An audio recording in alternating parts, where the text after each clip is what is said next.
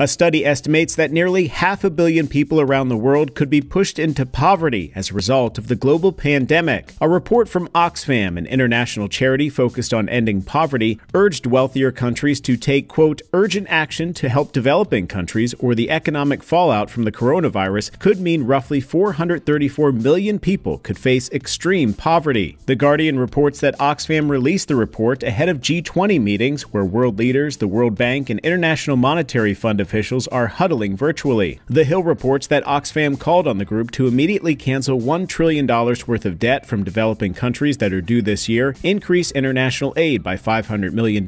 and create a new $1 trillion reserve in the IMF to be made available to developing nations.